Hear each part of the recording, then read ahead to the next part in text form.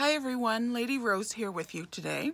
It is a nice, beautiful, hot, and very humid day here in Kingston, Ontario, Canada.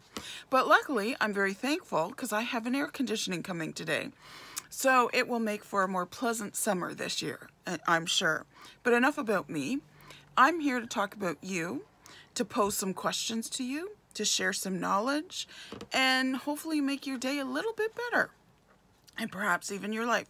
Who knows? So I'm going to put a question out there. And the question is, what would you do if you knew you absolutely could not fail? Or put another way, what would you do if you knew success was guaranteed? If success was guaranteed, what would you do? Now, some of you might be excited by that question. What would I do? Oh my gosh, what is my dream? You know, let's make some plans. What would I do? Yes, okay, let's, how do I get into that mindset of success, of guaranteeing my own success? Because we often, you've probably heard, our thoughts become our reality, right? So where are your thoughts going? In particular with this question, this can be a little bit of a test question. Now, some of you might be scared and go, what would I do? I don't know. I can't think. I can't, well, you can think, but I can't make that decision. It seems so daunting because the possibilities are endless. And you're right, the possibilities are endless. So it can seem very daunting to have that big question posed to you. Now, some of you may be jaded as well. Some of you maybe have gone to some of workshops and conferences and seminars and things and have heard this question before and you got lots of buzzwords from the conference and you left feeling great and you got home and you went, so what tools do I now have to use this, you know, to make this question a success for me? What would I do if I knew I couldn't fail? What would I do if I knew success was guaranteed? So they often leave you with the questions, but don't always give you the tools to answer those questions. So as myself, I'm living a very dream life now. I've gone through some hard lessons and I have a toolbox full of tools that I can draw upon that I'm very much aware of now part of it is because I'm a certified life purpose and life coach. So I do what I call happiness life purpose sessions. And in these sessions, you can talk about any area of your life. Nothing's out of bounds to make your life better, to make it more fulfilling, to add substance, or to give direction to your life. Because a lot of us live on autopilot. But I wanted to talk a little bit about doubt and worry because sometimes when we get posed that question and we come up with something that we would like to do and it's like, okay, yeah, but then that little, you know, voice comes in and it's saying, oh, I don't know, you know, and we get into the doubt and worry. And our conscious mind can get addicted to that, get addicted to the doubt and worry. And a lot of times we um, automatically go to those places and we disguise it as things like rational thinking or logical thinking or being cautious um, in a good way. I'm keeping myself safe, you know, and you are, but at the same time, you came in here with a purpose.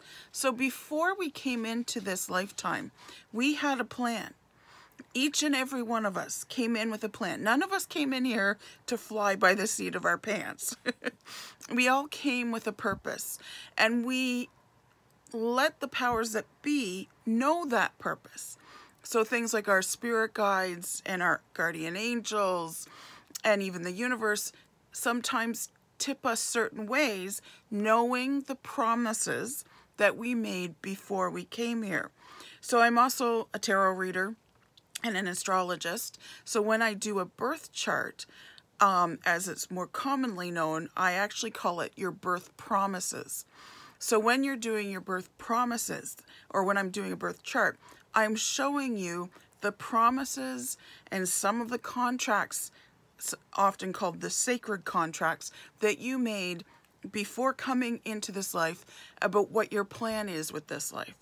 So if you know astrology, you know it's a big circle is your birth chart. And basically it's a snapshot and a picture of where the stars were when the second you were born. And depending on their positions, certain energies will influence you more strongly. And and there's going to be certain like you're going to focus on this house or that house. So the pot the circle is divided up like a pie and there's 12 houses. So there's 12 sections of pie. And each pie is kind of labeled with different things like this first piece is all about you. You know what you're like you know what you're going to look like blah blah blah. You know the fourth piece for instance is all about family. What's your family going to look like? What brothers and sisters are do you want to have? What kind of parents do you want? You know the eighth house or ninth house i can't remember which one but one they're about traveling and knowledge. So you pick that one you go okay i want to travel here i want to travel there because i want to learn this and i want to learn that. Now you don't always have something in every house but i kind of compare it to high school where you get to pick your courses and you kind of do that before you move in to this new life and you say i want to pick this course and i want to pick that course now in high school there are certain courses you have to take, right? Certain credits you have to get. Like you have to get an English credit and maybe there's a math credit you have to get. So, you know, so you pick your English and you pick your math, and then from there you've got free reign to do whatever you want to do as far as what do you want to gain out of this life. So a lot of us forget that, that we came in here with a specific purpose and a specific plan of what we're going to be doing. We knew where our strengths were or are in this life. We knew where our strengths were going to be from other lives that we've already lived. Like, I'm really good at this and I'm really good at that. And we know that. Like, this is before we came in. Sometimes when we come in, we have natural, what are deemed natural strengths and gifts, right? Like, say someone can sit down and they can just play the piano. They just know how to do it. It's not, it's not so much that it's a gift. It is definitely a gift, but they may have learned that skill in a past life and they're bringing that forward into this life. So a lot of people who talk about past lives will talk about the baggage that we bring in and the traumas and the hurts and the emotional um, healing that we need to have. Yes, we bring that. And again, humans like to focus on the negative. What we forget is we also bring in our past gifts, our strengths, all that comes with us too. And we can decide to let go of some of the trauma and the hurt before we come into this life if we want. If we don't want to, then we drag it all with us. But our strengths pretty much always follow us. So we came in here knowing that we're good at certain things. Certain we have a certain skill that just, you know, now comes naturally to us. It's not that we haven't had to go through learning it. We have. We just don't have to learn it in this life because we've already learned it. So we come in here um, knowing what our strengths are and wanting to develop new strengths, wanting to heal certain areas. So when we bring what they call baggage with us, sometimes we bring that on purpose to know, okay, in this lifetime, I'm finally going to cut those cords. I'm going to do the healing that needs to be done and I'm going to let it go by the end of the life or or you know going into that next life in the in-between times. We also come in here saying, okay, I'm going to reach this new level of enlightenment because it's not just all a physical um, growth that we want to happen. It's mostly a spiritual growth because, you know, as the old saying goes, we're spiritual beings having having a human experience, not the other way around. Although it's good to have some human, you know, gifts as well and strengths. so the other thing that we often will forget is that we have access to all the knowledge that the universe has and the universe has all the knowledge. so we have access to it all. We can tap into it um, because we're part of the universe. We are part of the universe. We're, we are, you know, the divine. We have divine in us. Again, we're spiritual beings and we're all connected and we have access whether it's past history, forward stuff, just general spiritual stuff, whatever it is we want to know about, we have access to it. Now, that being said, it's not like, you know, oh, well, I want to press this button and suddenly know this or suddenly have this strength or have this enlightenment or whatever. There are moments when you have like the aha moments or whatever, but the aha moments for us as humans in our human form are very much like, okay, we've been trying to get there and now we're suddenly there and things click into place. It's like, ah, okay, now I see it. But really, the access that we have knowledge to, I compare it to like the biggest library you've ever been in. It's the universe has all the knowledge absolutely all the knowledge even how the universe was started and where what was the first thing you know that sort of thing has all this knowledge. But it's a huge library and you have to first of all find the book that you want on whatever particular knowledge or strength you're trying to build. And then you have to read the book And so, although we have access to all that knowledge, and we do, it's not necessarily instantaneous knowledge. Some of it can be. And we've seen like some of the greatest minds on earth uh, seem to have better access to this particular, to knowledge, right? Like they, they, sometimes they can think in on levels that it's like, okay, this is blowing my mind kind of thing. But they're able to tap into the universe's library. We are too. It's just we maybe have to learn how to do that and learn to not get so wrapped up in our other dramas that are going on. And one of the things that sort of blocks us is doubt and worry. And we can get addicted to doubt and worry because doubt and worry can be a weird sort of um, comfort because our brain knows doubt and worry. We know disappointment. We know failure. We're familiar with those things. And we have a fear of failure as well. So our brain, oftentimes, in order to protect us, will say, well, you don't want to do that. You know, that's, that's not where your strong suit is. No, don't do that because if you do, you might, you might fail. And then you'll look foolish and then, you know, it's going to hurt. and yeah, it will hurt if you fall down or look foolish sometimes. And that's part of humor. Humor is very important. And I'm always telling people when you talk to your angels or ask them for signs, I always say they have a very, very good sense of humor and they love puns is the other thing. They love puns, but they they will sometimes give you those signs in very humorous ways. And, you know, you're kind of like, oh, I see what you did there, kind of thing, when you finally see it. And humor is one of the most healing energies you can get into humor. So, a lot of times we get to a point where we can't laugh at ourselves. And in tarot, the deck begins with the Fool, who is zero. And the Fool is all of us.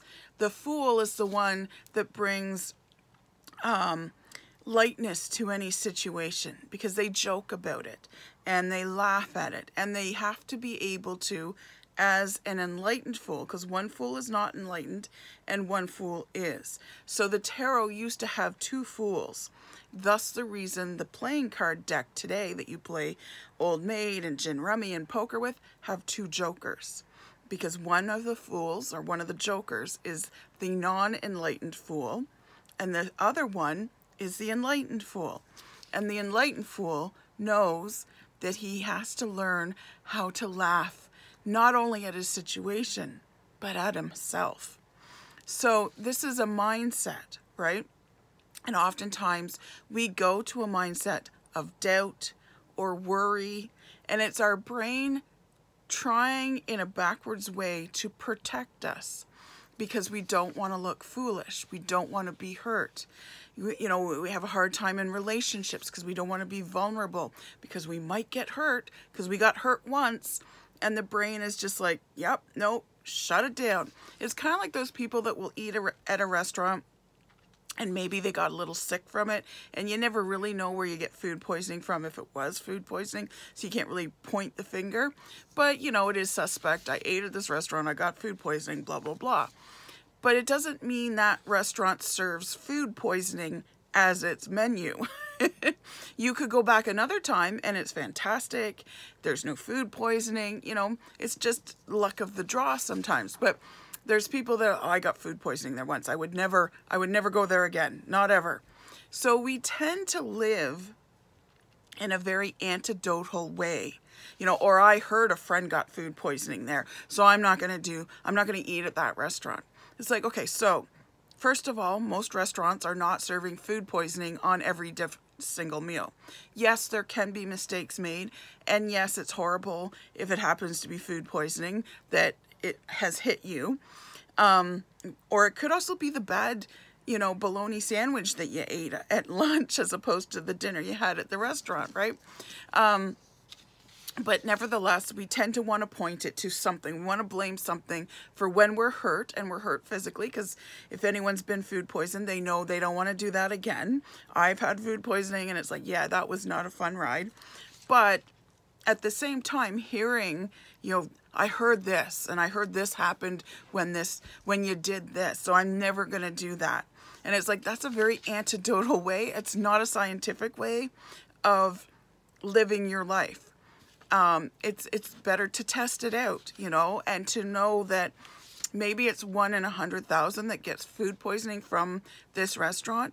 So your friend got food poisoning. So uh, 999,000 or whatever it is more of you can go there and not get food poisoning.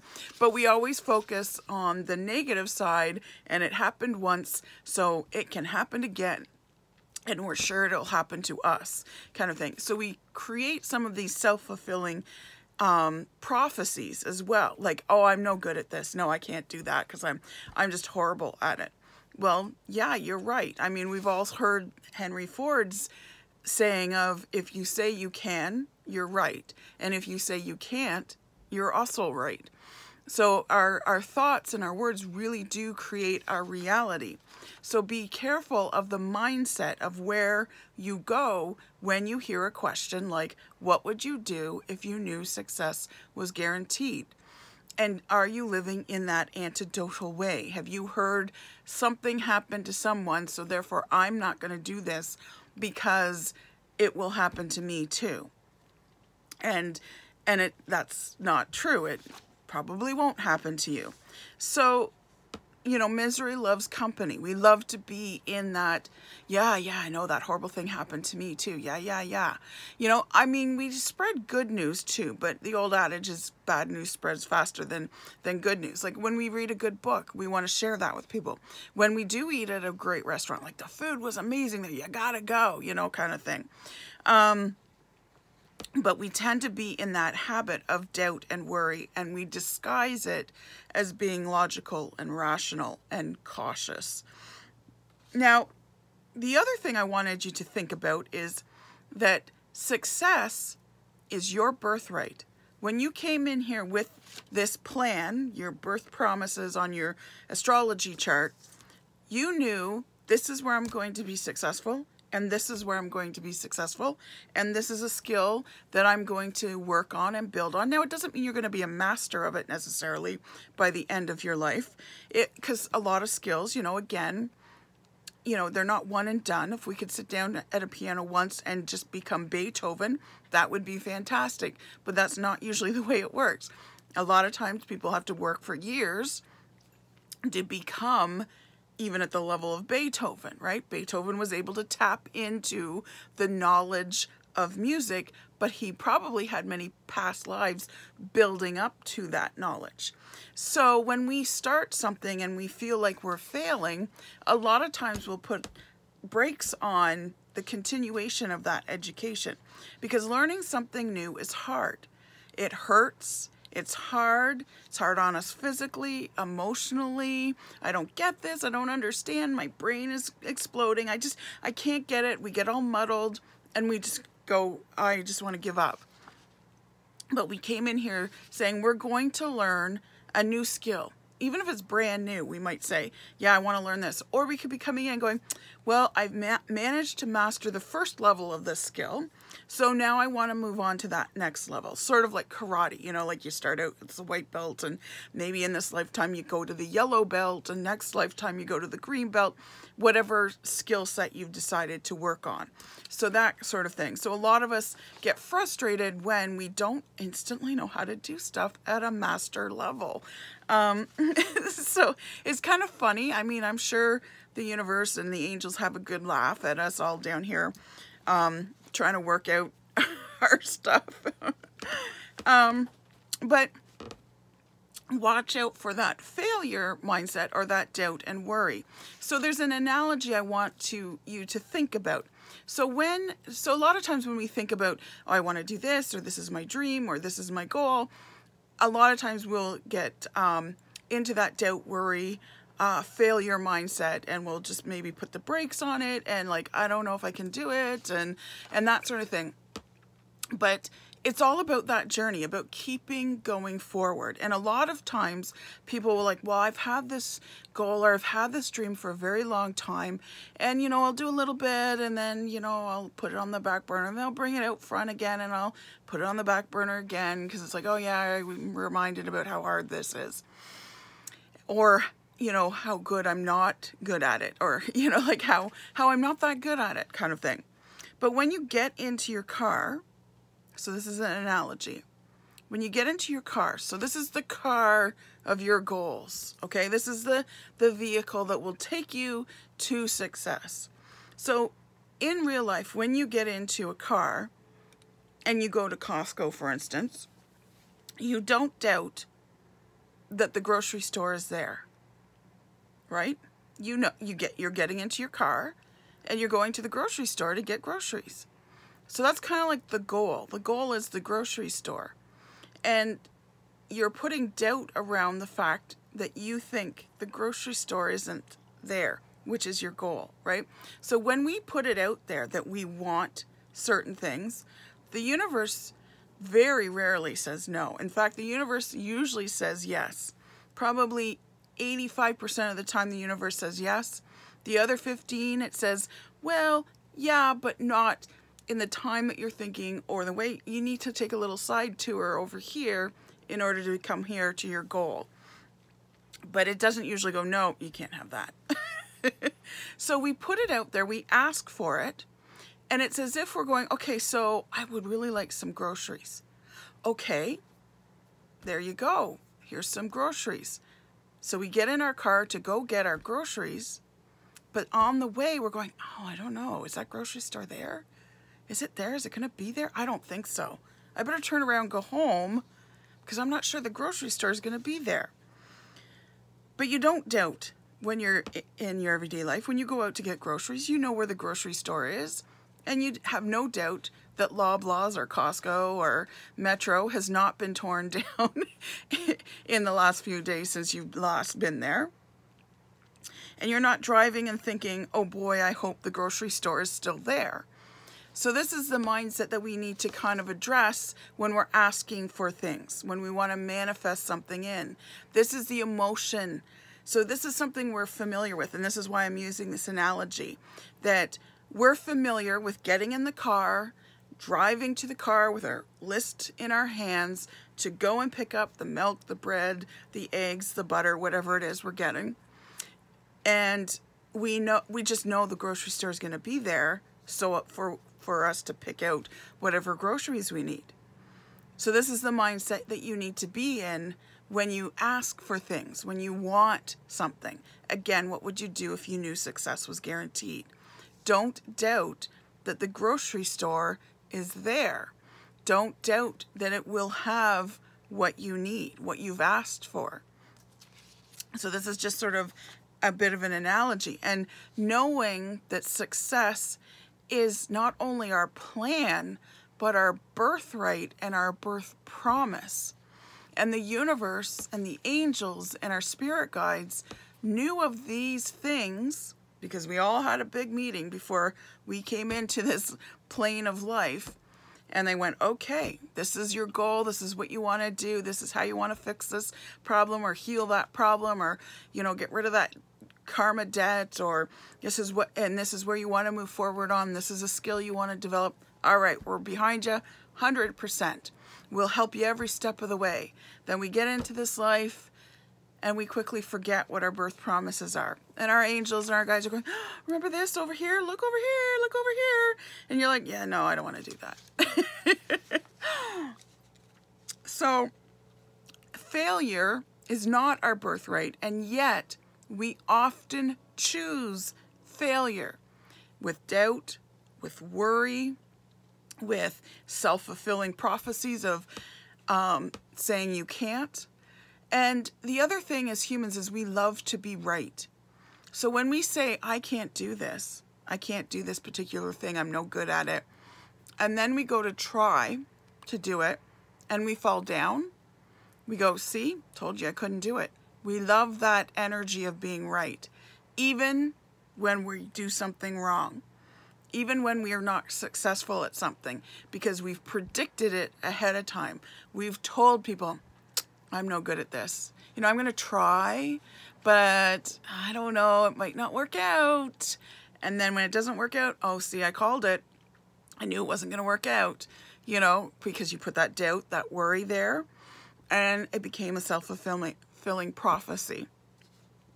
And that is where we've chosen failure. So when something doesn't work out and you're about to say, see, I told you it wasn't going to work out, yet in that moment, and even before then really, you're choosing to fail. You're choosing to fail. It's a big thing to own and to be aware of, to become aware of. You know, like when I'm avoiding things, that's that's often how I um, choose failure is by avoiding things because I'll just avoid until it hopefully just goes away. and there's been a lot of times where I've really had to sit down with myself and say, okay, why are you avoiding this? What's this emotion? What are you feeling? And why are you avoiding it? What what can we do so that you won't avoid it? Right? And so then I ask, I often ask my angels and my spirit guides to help me with this avoidance that I do. And I'm slowly, well, first of all, I'm able to recognize it a lot faster than I did before because I didn't even realize I avoided things. Um, so I love and I'm thankful and grateful that I have the awareness now to know, oh, this is you avoiding stuff. And you're choosing failure when you do that. So then now I'm able to now sit down and work my way through that so that even if it's painful, even if it's, you know, something I really don't want to do, because again, we avoid things that we're not good at, right? We'd rather do stuff we're good at. And that's what's called living in the tail of your dragon, because the tail is where our strengths lie, but the head is where our purpose lies. And a lot of us don't want to go to our head.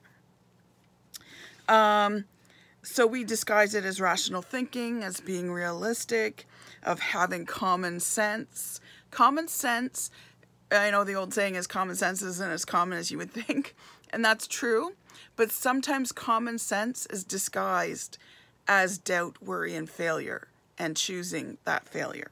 Not always, but sometimes. Um, when we do this, we are putting what we call the servant first. So there's a saying, or there's a quote, not a saying, there's a quote that Albert Einstein said, and he was, if not the greatest, at least in the top five greatest minds that have walked this planet. And what he said was the intuitive mind is a sacred gift. And a lot of us have even squashed down the intuitiveness. So the intuitive mind is a sacred gift. The rational mind is the faithful servant of the intuitive mind. The intuitive mind tends to be our subconscious. Society has conditioned us to honor the servant and dismiss the sacred. So that's something to think about the intuitive mind, our intuition, Our intuitive mind is a sacred gift, and we're not giving it the honor that we should. Our rational mind, because it has a place. It's not that, you know, just don't think rationally or logically, or, you know, it's good to have common sense in the right areas and the right conditions and that sort of thing. But it's our rational mind that's the faithful servant of our our intuitive mind, the one that just feels things, the one that you know just sort of has a knowing, and it's not um, necessarily logical kind of thing.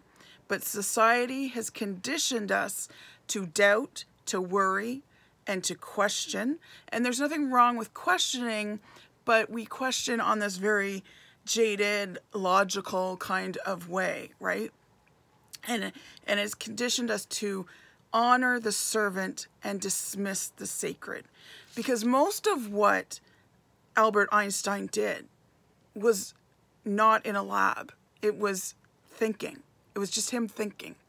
And this whole quantum, you know, physics and, you know, E equals mc squared came out of his mind just came out of his mind.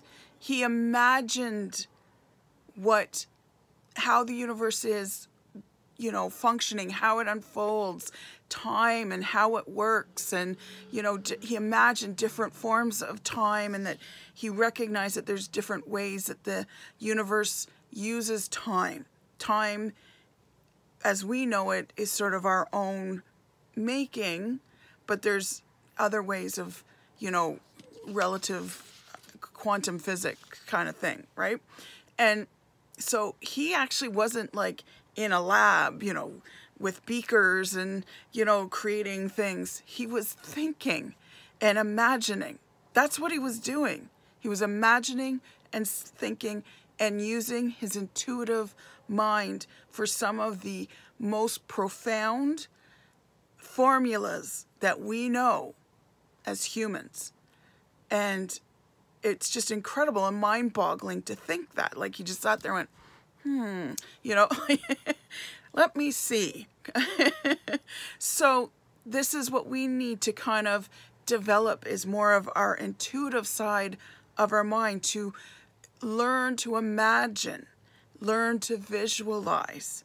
And we're conditioned to put that aside and believe what we're seeing in front of us and believe what we're hearing and making that more sacred. Like like I said, we live in a very antidotal way if we really look at ourselves. And yeah, I've heard from a friend that this the la la la, but do we then, oh, I can imagine me having a good meal at this restaurant as opposed to having a meal that's laced with food poisoning. now, the natives for the medicine circle also have into intuition. So it starts to develop more so when we're on the west side in our adulthood that we need to develop our intuition. And as we go to the north direction of the medicine circle, that's when we become elders. And if we've done things properly, that's not always the case, but if we've done things properly and we're heading in the right directions, our intuition as elders moves into being wisdom. So, you know, think on that. Or as as you move into your older years, is your intuition developing into wisdom? So that's all I have to say today. I hope that gives you some food for thought, things to think about, and, you know, giving yourself a check in and where is my mind right now? Where is it when I react to a situation or a question that comes up? Or where is it when I'm setting my goals, when I'm journaling? Because right now is a very powerful time in June 2021. We have a new moon eclipse coming in. We're in Gemini with both Saturn and Mercury in retrograde.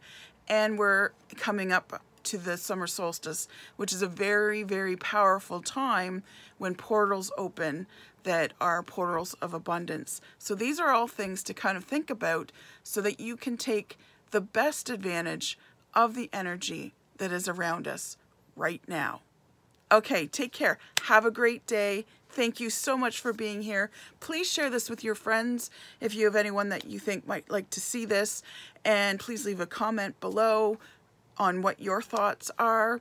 And uh, subscribe and like the video. I appreciate all the support. Take care.